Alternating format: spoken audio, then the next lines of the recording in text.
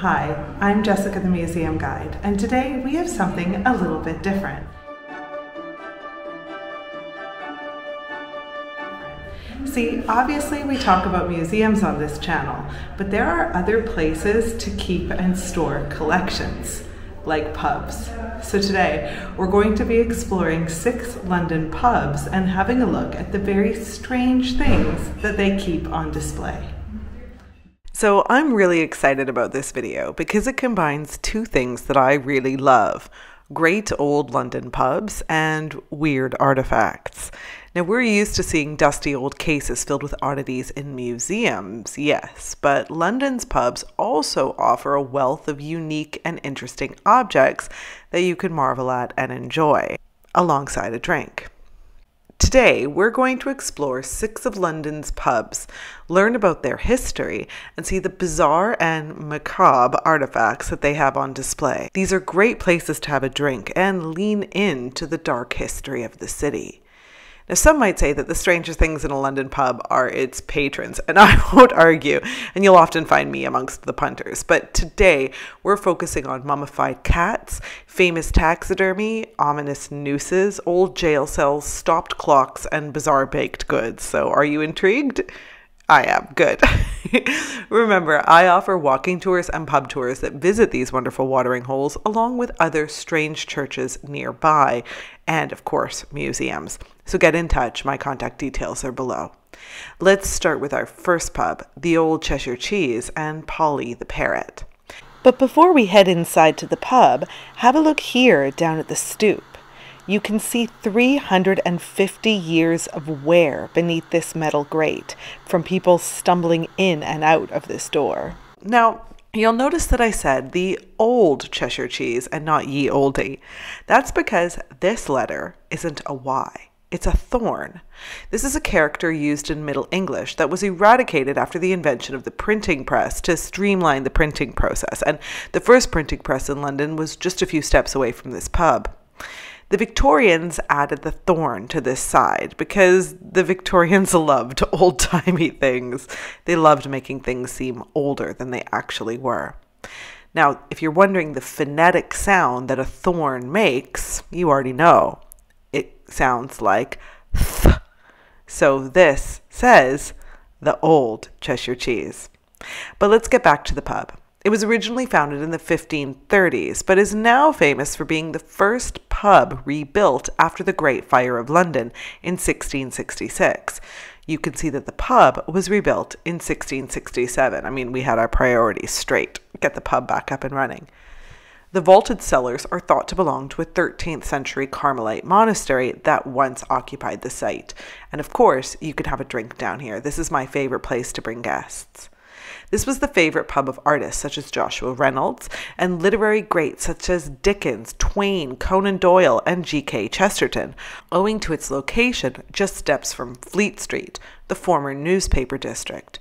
And of course, the pub is associated with Samuel Johnson, who compiled the first English language dictionary and lived just a few steps away from here.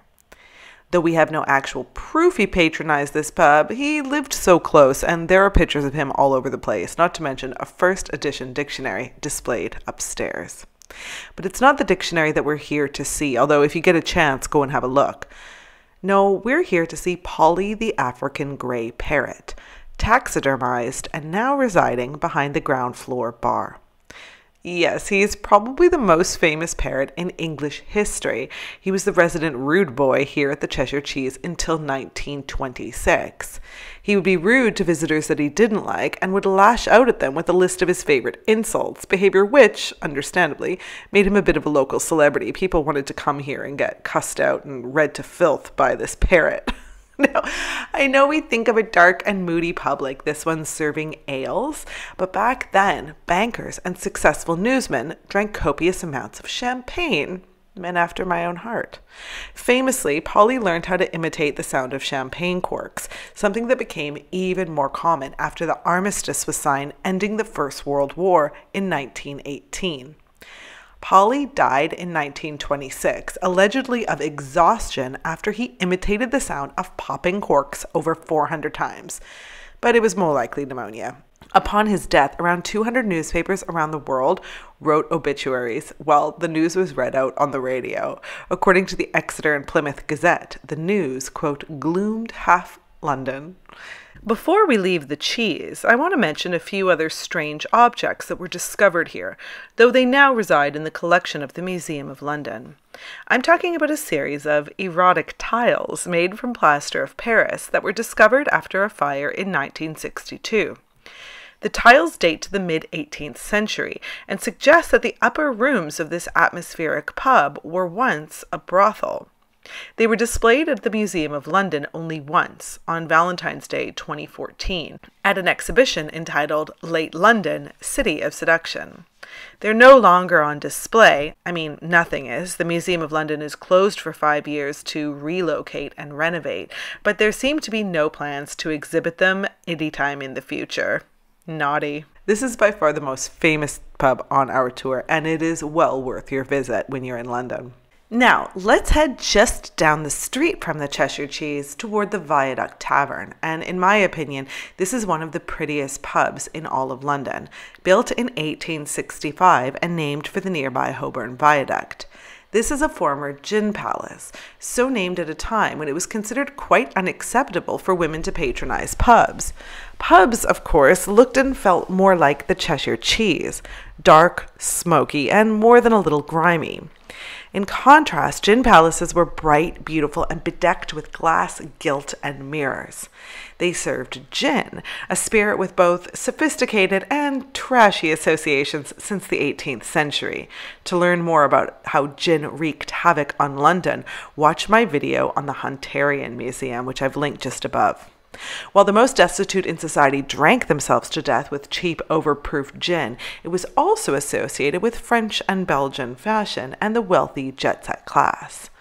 An establishment like this one was obviously trying to evoke the latter. Therefore, it's an interesting juxtaposition that it's home to such a grim oddity. The old debtors' cells beneath the pub, once associated with the Old Bailey courthouse directly across the street.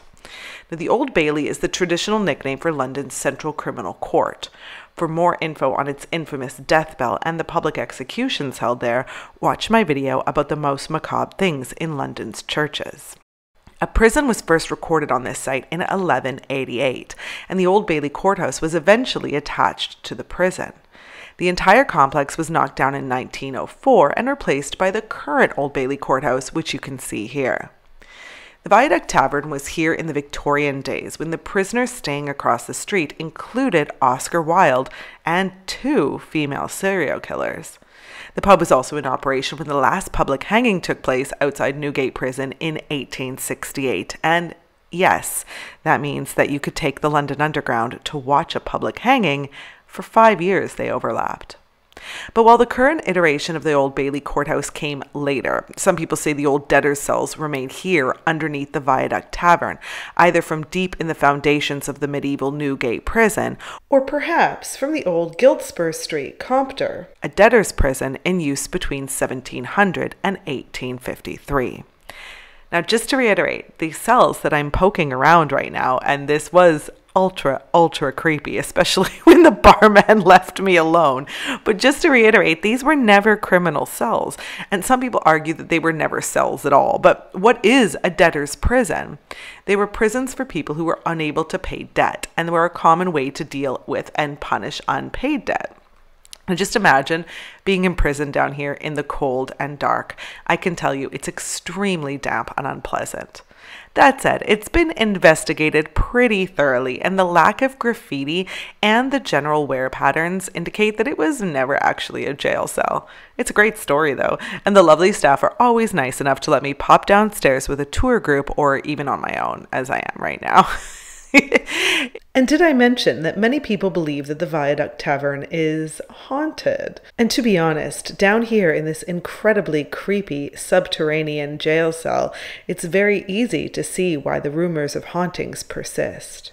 But seriously, just look at how beautiful this pub is. This is one of my favorite places in the area to come for a drink, even if I'm just grabbing a quick cup of tea. It's a lovely place. Let's head to our third pub. It's Dirty Dick's near Liverpool Street Station, home to an infamous cabinet of curiosities. Now, I've been guiding in this area for a decade now, and I've witnessed many people, students and adults alike, giggling at this sign. Now, grow up, everybody. but no, it actually references a specific man and his very strange story. See, Dirty Dick was a silly nickname for Nathaniel Bentley, and he was a hoarder, but he didn't start that way. Bentley started as a merchant in the late 18th and early 19th century, running a hardware shop and warehouse near Leadenhall Market. Tragically, his fiancee died on the eve of their wedding, and he is said to have closed the reception room already set for the wedding breakfast and never opened the doors again. Some even think he was the inspiration for Miss Havisham in Charles Dickens' Great Expectations because he also began to refuse to throw anything away or wash himself. Dickens does seem to be referencing Dirty Dick in a poem published in his magazine Household Words. He writes, Yet give we a thought free of scoffing or ban to that dirty old house and that dirty old man. Bentley's warehouse and house became so filthy and decrepit that he became a local legend. Any letter addressed simply to quote the dirty warehouse, London, would be accurately delivered to him until his death in 1809. When he died, his cousins inherited a pub that he owned called the Old Jerusalem. Being savvy business people and a bit twisted, they decided to cash in on his infamy and they changed the name to Dirty Dick's and decorated the joint with the strangest ephemera from Bentley's warehouses and shop. Now, that included cobwebs and mummified dead cats, which, by the way, were historically thought to be good luck. Here's one on display in the floor of the Museum of London. There's also a mummified cat here at the wonderfully bizarre Viktor Wynd Museum, which I named the strangest museum in London in the video linked above. There's yet another mummified cat on display at the Sir John Soane Museum. He found this one when renovating his townhouses in the 18th century. Let me know if you'd like to see a video about the Soane Museum, and maybe I should make a video just on mummified cats. There's a lot I'm not even covering here. But back to Dirty Dick's family. And they brought these things from his original warehouse and they dotted them throughout the bar. But in the 80s, the pub had to undergo a deep cleaning to keep its license, and the grisly bits were consolidated and tidied into this glass display case. Now, that's where I used to bring people to come and look at them and admire them myself when on the way to the loo. But sadly, in the past few years, the health and safety inspectors have insisted that even the glass case was not sanitary enough. And there are a few spooky and bizarre bits left in this case. It's still worth having a look, but the mummified cats are now gone, and I was gutted to find that out when I came to film this. Now, that said, the pub is still well worth a visit to see what's on display, and you can check out a lot of clippings and drawings of old Nathaniel Bentley, aka Dirty Dick, as you have a nice pint or two or more. I won't judge you. Before we leave the topic of mummified cats, we need to talk about another pub. Now, I mentioned that there are a few dried cats in London's museums, and I talk about a very different cat mummy in my video on the strangest things in the British Museum.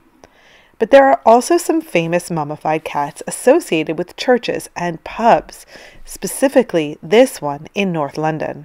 Now, this really shouldn't come as much of a surprise, because the dried bodies of cats are often found concealed within the walls of old buildings, believed to bring good luck to the structure and its occupants, or potentially to scare off vermin or ward off evil spirits.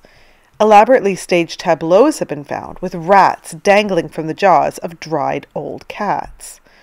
Which brings us to this pub, which is sadly permanently closed. Whittington and Cat in Archway is a protected pub that is named for the storied 15th century Lord Mayor of London, Dick Whittington, oft remembered in children's stories and pantos. Whittington is famous for packing up and leaving London with his cat, only to be called back to the city from Highgate Hill by the sound of the Bow Bells. When post war excavations were carried out at St. Michael Paternoster Royal, long believed to be the final resting place of Whittington, a mummified cat with a dead mouse hanging from its mouth was found built into a sealed passage under the roof.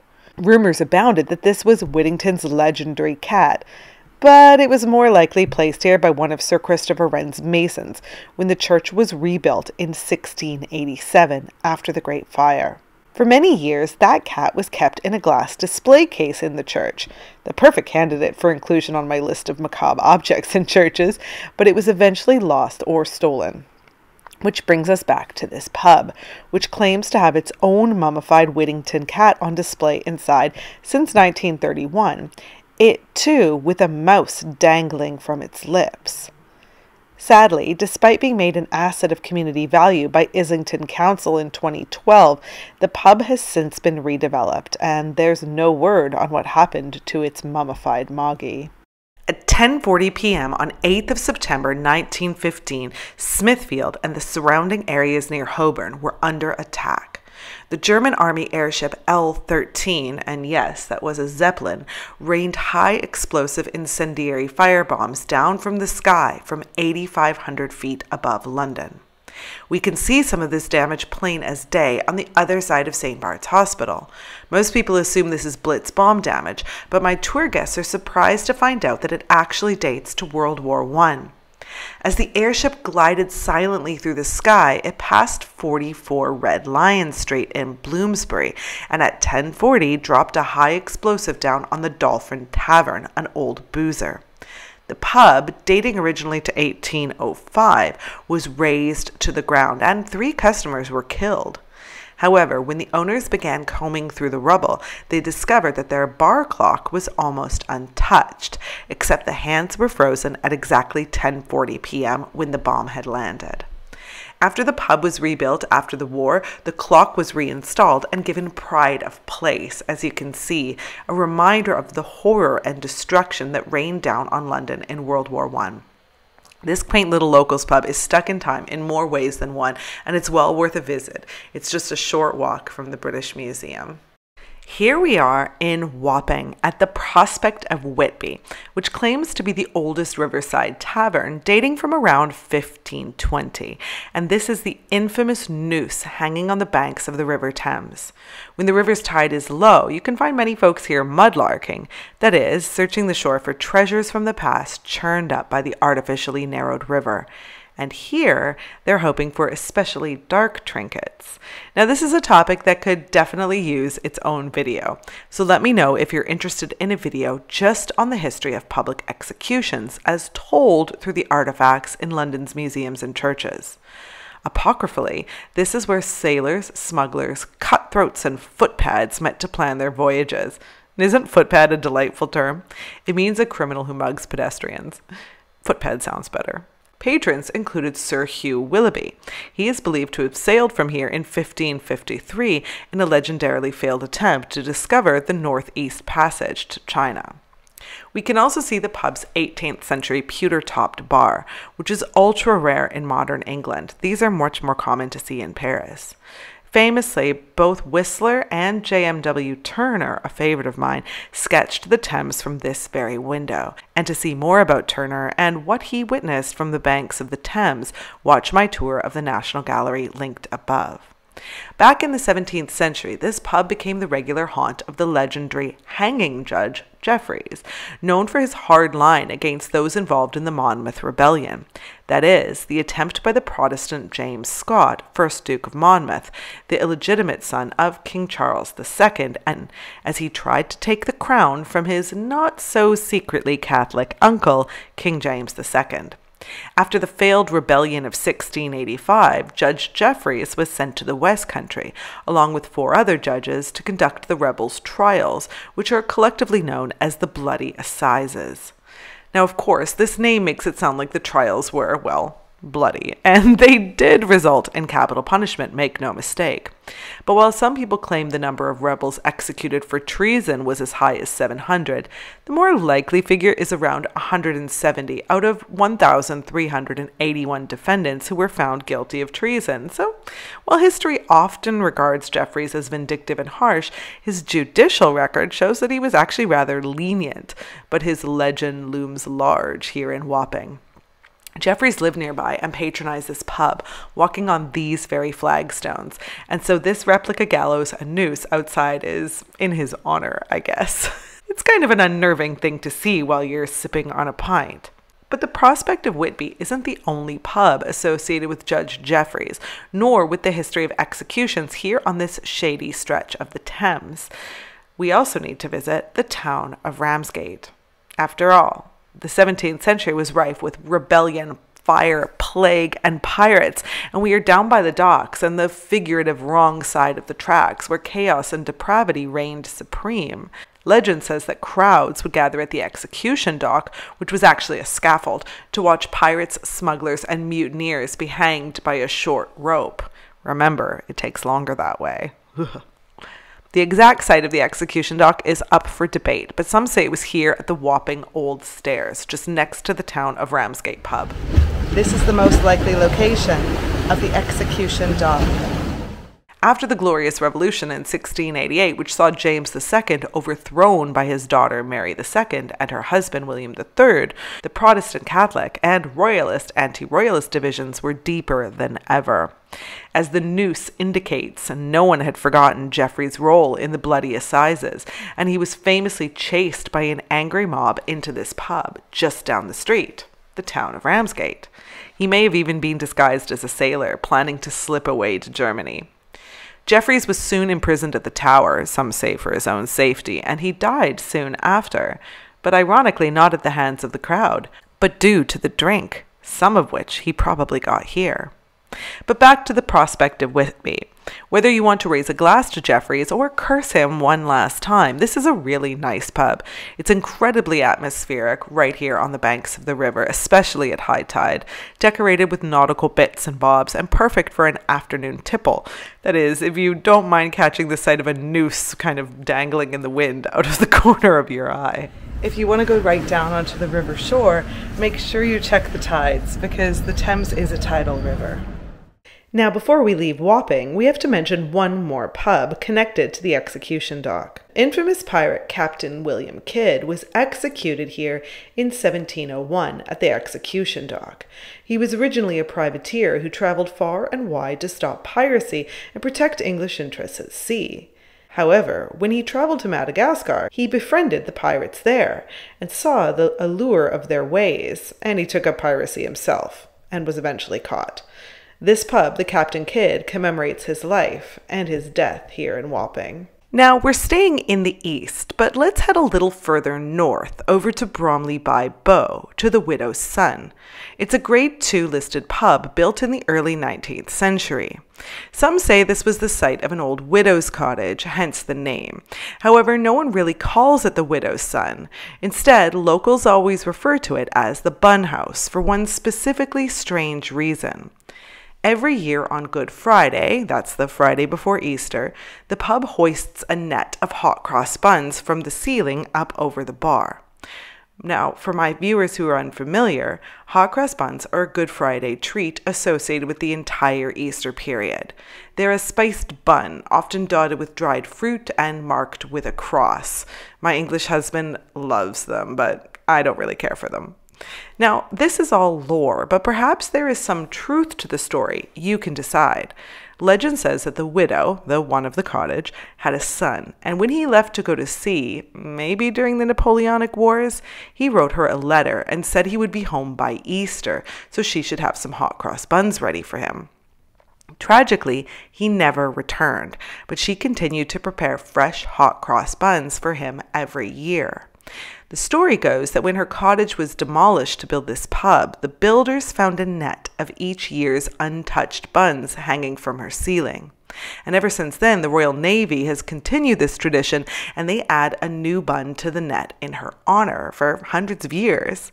The bun is baked by, are you ready? Mr. Bun of Bun's Bakery in Romford. How perfect. But while this is probably just a myth, there have long been many stories associated with hot cross buns, with many considering them to have strange and special properties. Many people believe that hot cross buns can never go stale. Trust me, they don't get a chance in my house. Um, but perhaps this is entwined with the resurrection and eternal life. Now, a fire in the Widow's Son pub in the 1980s burnt many of the old buns in the net, but their burnt remnants are still included in the net as a memento.